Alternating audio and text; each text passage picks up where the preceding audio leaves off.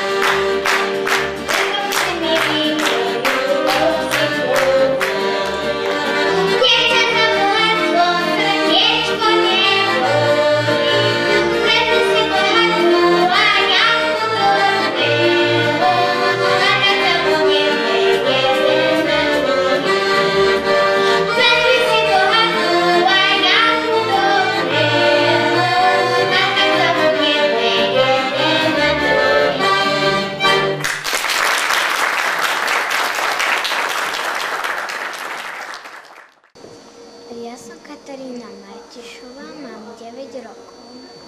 Ja som Sonia Šmitová, mám 6 rokov. Ja som Gabriela Anušiaková, mám 10 rokov. Vyznačené, aký je to kroj?